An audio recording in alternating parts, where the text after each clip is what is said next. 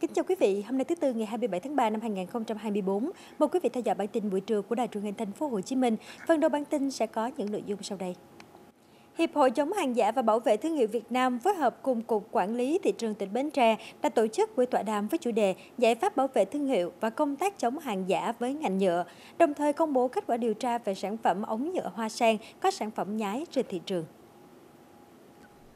Tọa đàm nhằm thông tin tuyên truyền về vai trò ý nghĩa của công tác chống hàng giả, hàng nhái, hàng vi phạm nhãn hiệu đến với các doanh nghiệp, cơ sở sản xuất kinh doanh, nhất là với ngành nhựa. Đồng thời, tọa đàm cũng đúc kết ra những kinh nghiệm giải pháp từ hoạt động thực tế để hỗ trợ khích lệ các doanh nghiệp nói chung và doanh nghiệp ngành nhựa nói riêng tích cực chủ động hơn nữa trong vấn đề chống hàng giả, xây dựng được thương hiệu uy tín chất lượng. Khi ảnh hưởng của suy thoái kinh tế thì cái hàng à, xâm phạm về thương hiệu hàng nhái, hàng giả thì nó sẽ xuất hiện nhiều hơn.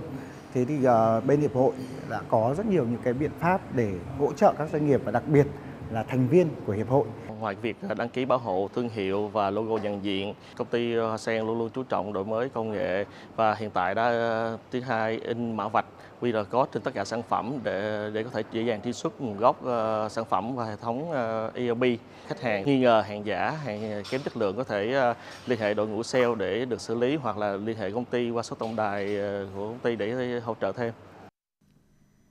Trong khuôn khổ buổi tọa đàm, Quản lý thị trường tỉnh Bến Tre đã công bố kết quả điều tra về sản phẩm nhái thương hiệu ống nhựa hoa sen trên thị trường. Theo đó, đội quản lý thị trường số 1 đã tiến hành kiểm tra các cơ sở kinh doanh trên địa bàn thành phố Bến Tre, phát hiện 4 cơ sở vi phạm và tạm giữ hơn 3.300 sản phẩm ống nhựa cứng các loại có dấu hiệu xâm phạm quyền đối với nhãn hiệu đã được bảo hộ của tập đoàn Hoa Sen với tổng trị giá hàng hóa trên 188 triệu đồng – lực lượng chức năng đã tiến hành xử phạt hơn 153 triệu đồng.